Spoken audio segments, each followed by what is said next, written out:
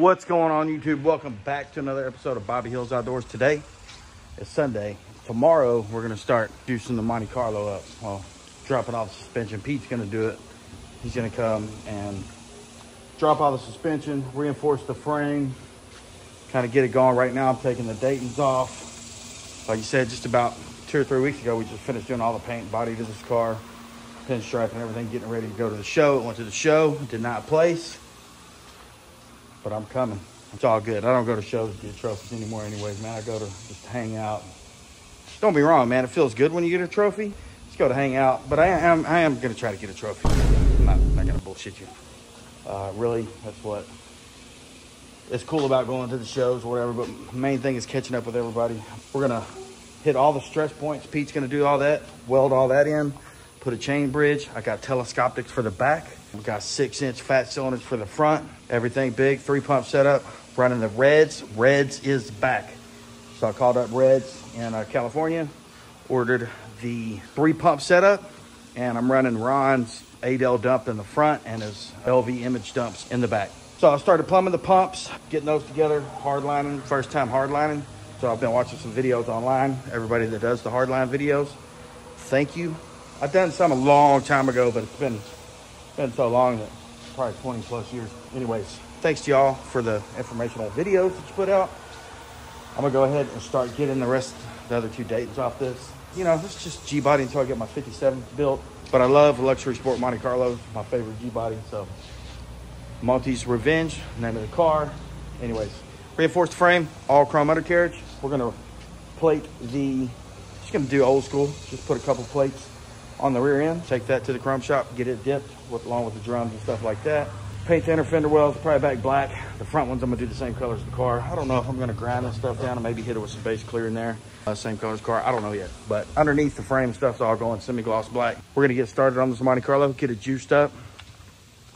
So I get back to the show. Lowrider Magazine show coming up in August. All right, so I got the Dayton's off, put up in the shop. This is what I'm gonna put on right now. I'm gonna tell you, I blew the car off. The car's been ceramic coated. We need to polish it again um, and then re-ceramic coated, but we were kind of in a rush for the last show. But uh, I'll show you what I'm gonna wrap the car with.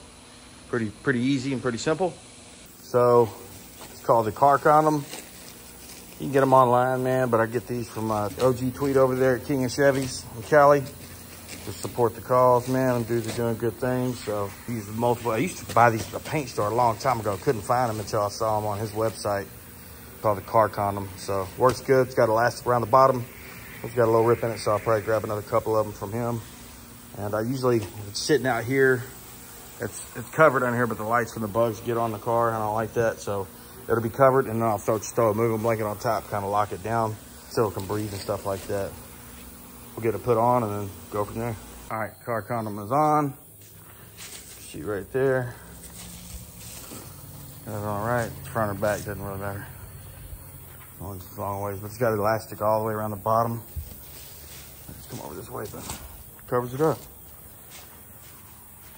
Shout out to King of Chevys. Boy, they make life easy.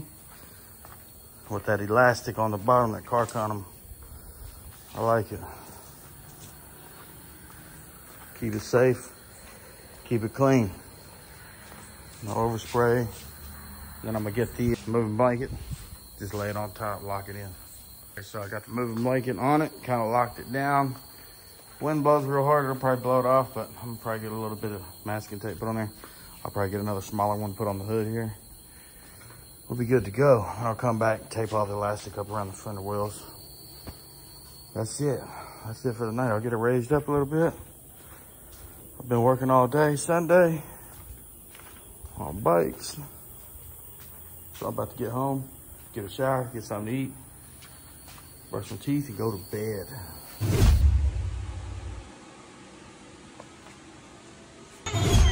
Day two on the Monte Carlo, reinforcing the frame. Uh, Pete came over. I was in the shop. Didn't get to record much while he was uh, doing the rear end, but he's got it taken apart and he already reinforced it. So we'll take a look at it.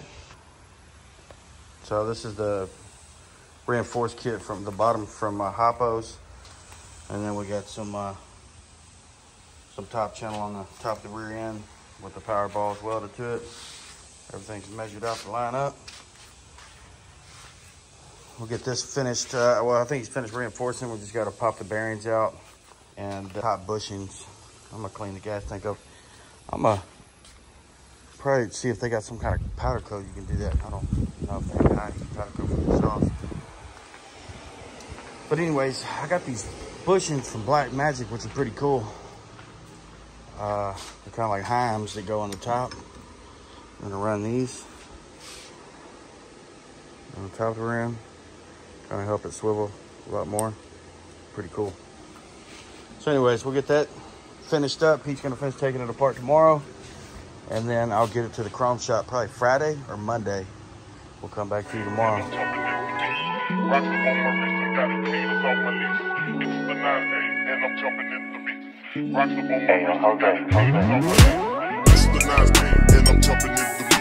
Rocks up on my wrist and got off my list.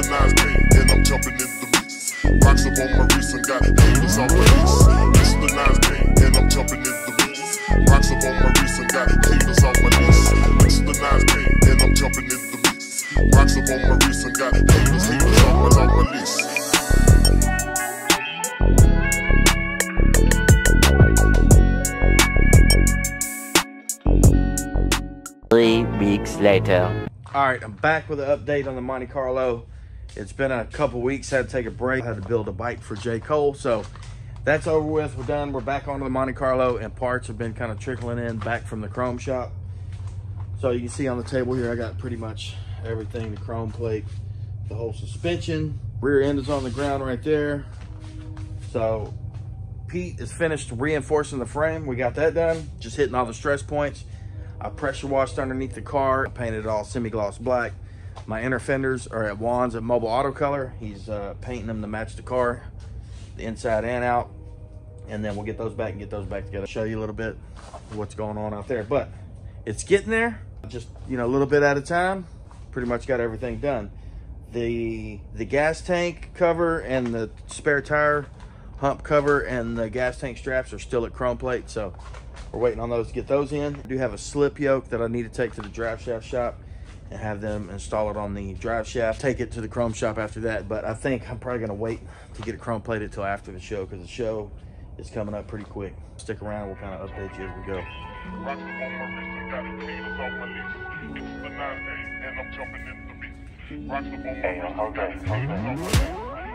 Rocks up on my wrist and got haters off my list. It's the nice day, and I'm jumping in the mix. Rocks up on my wrist and got haters off my list. Nice day, and I'm jumping in the mix. Rocks up on my wrist and got haters off my list. Nice day, and I'm jumping in the mix. Rocks up on my wrist and got haters off my list. It's the nice day, and I'm jumping in the mix. Rocks up on my wrist and got haters off my list. It's the nice day, and That motherfucker ain't doing shit. jumping in the mix. Rocks up on my wrist and got haters, haters off my, off my list.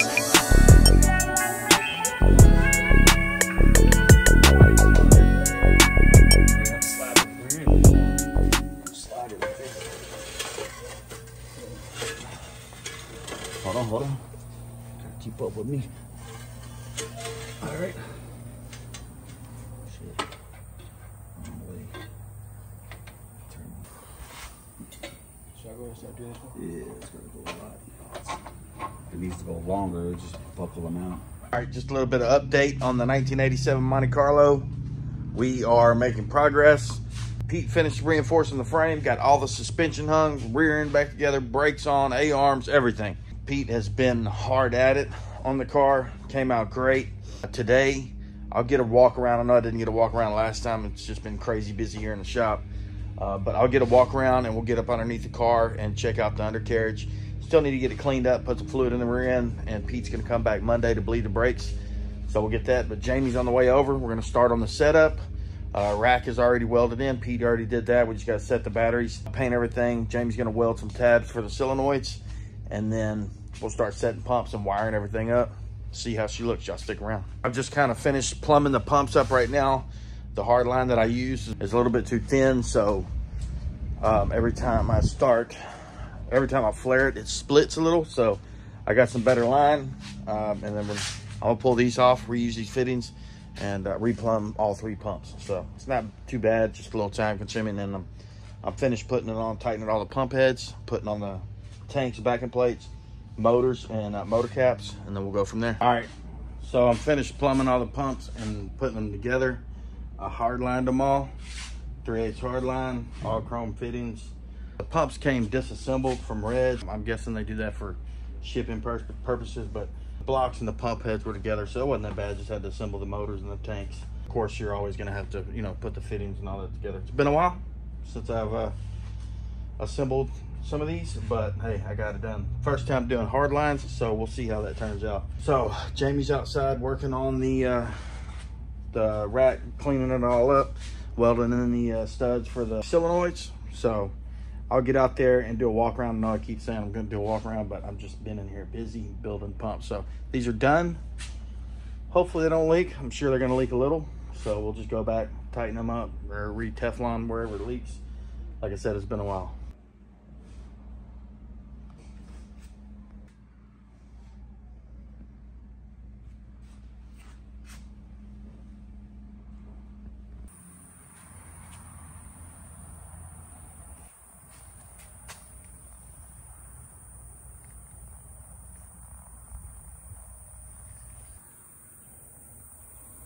Back on the Monte Carlo, trying to get ready for the show next weekend. Uh, me and Pete measured the drive shaft yesterday for the slip yoke. Took it to the drive shaft shop in town right before five yesterday. Picked it up today. I got it painted, so I'm gonna slide it in the car, see how it works, and uh, go from there. And then get the rear end filled up, uh, get the brakes bled. That should be it. Start cleaning it up. Need to crank the engine, make sure the exhaust is all good and everything, but I'm sure it is. Pete put it all back on, so we're gonna get after it. Or I'm gonna get after it today, and then uh, we'll move on to detailing it up and get ready for the show. Here's the drive shaft right here. Just hit it with a little bit of semi-gloss black. Connected to the chrome rear end because it's chrome. And go from there. You see Pete's got all the frame wrapped. Wrapped it all up. I pressure washed the hole underneath, degreased it, taped everything off and hit it with some semi-gloss black. But yeah, all the chrome's on, all the, the A-arms on. Power lock up hydraulics. Jamie got the hydraulics going. Everything's wired up. Looks good. We'll look at the setup here in a minute.